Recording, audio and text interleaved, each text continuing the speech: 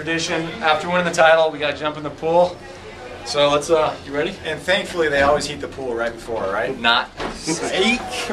It's gonna be freezing. Uh oh. Oh, there's fans around there. Right this way, right? All right, let's go this way.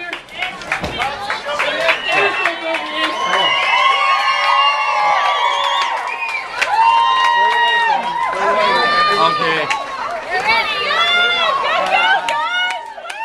Ice back. I'm going that way. Are we gonna dive or are we gonna go Really? cannonball? It's cold. Ready? Yeah,